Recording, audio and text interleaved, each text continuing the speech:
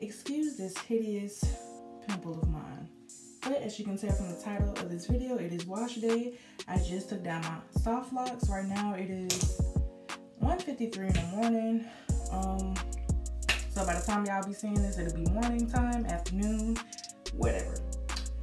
So yes, my hair is very crusty, dusty, and very much in its natural state. So let's just jump right into this video. So I start off by using Mielle products. This is a Mielle organic shampoo. It is very good for dry and itchy scalp. Um, gotta get all that good soap in there. Scalp gotta be clean, girl. Can't walk around here with no dandruff. Not cute.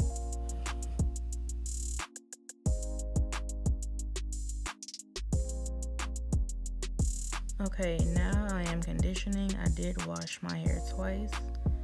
So I'm using the Grow Cream conditioner by As I Am.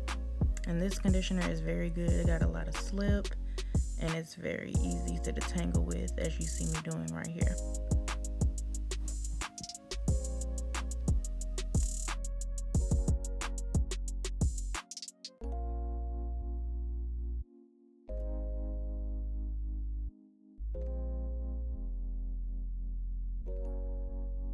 So once I did that, I went in with my As I Am Long and Luxe Deep Conditioner.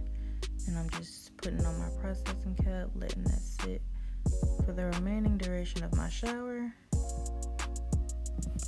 So now I wrapped my hair in an old t-shirt. That's what I like to dry my hair with.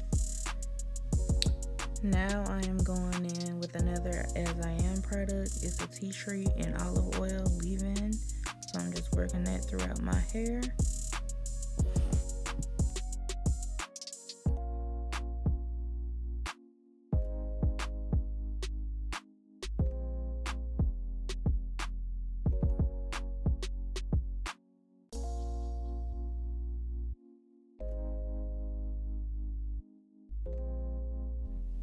So all I did was moisturize and detangle.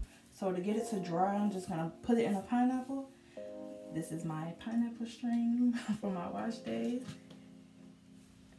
Don't y'all laugh at my little pineapple string. I know it's a little raggedy, but it works, child. It works. All right, you guys, that's it. That is my wash day routine. This is the ending result of this pineapple before bed.